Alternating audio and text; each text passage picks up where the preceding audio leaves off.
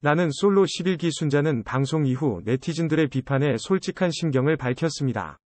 순자는 11기 출연자들과 찍은 여러 사진을 게재하며 방송에서 보여진 철부지 행동에 대해 해명했는데요. 순자는 저의 행동에 쓴소리해 주시는 안티분들께도 덕분에 저를 돌아볼 기회를 주셔서 감사하다, 라며 여전히 솔로지만 단점들을 많이 깨달은 만큼 이제 이러한 단점들을 하나씩 고쳐나가는 성숙한 죄수형이 된다면 저도 커플이 될 수 있을 거라 믿고 싶다고 이야기했는데요.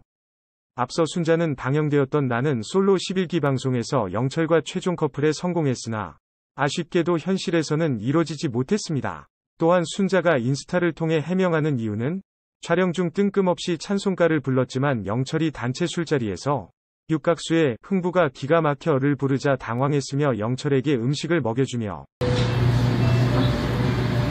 이제 그만해. 어, 뭐? 이제 그만해. 아, 뭐? 어? 강요하는 모습으로 식사 라이팅이라는 별명을 얻었기 때문인데요. 11기 순자가 인스타를 통해 직접 해명한 만큼 앞으로 좋은 남자친구가 생겼음 좋겠네요.